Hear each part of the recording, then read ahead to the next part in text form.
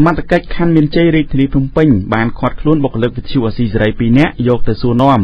ជុំវិញករណីបង្កើតបន្ទប់សម្រាប់ថតសម្លេងនិងកាត់តវីដេអូដោយថាមិនមានច្បាប់អនុញ្ញាតតាមកំណត់ហេតុរបស់សមត្ថកិច្ចខណ្ឌមានជ័យបានឲ្យដឹងថាសមត្ថកិច្ចបានឃាត់ខ្លួនបុគ្គលិកវិទ្យុអស៊ីសេរីទាំងពីររូបនោះនៅក្នុងផ្ទះសំណាក់មួយឈ្មោះម៉ារ៉ាឌីស្ថិតក្នុងខណ្ឌមានជ័យ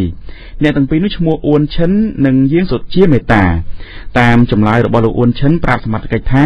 ការបង្កើតបន្ទប់សម្រាប់កាត់តសំឡេងនិងវីដេអូនេះគឺក្នុងបំណងរៀបចំកន្លែងប្រកបរបរកាត់តរូបថតនិងវីដេអូមង្គលការក្រោយការចាប់ខ្លួនមានព័ត៌មានថា អ្នកទាំងពីរនេះត្រូវបញ្ជូនទៅកាន់ស្នងការនគរបាលរាជធានីភ្នំពេញ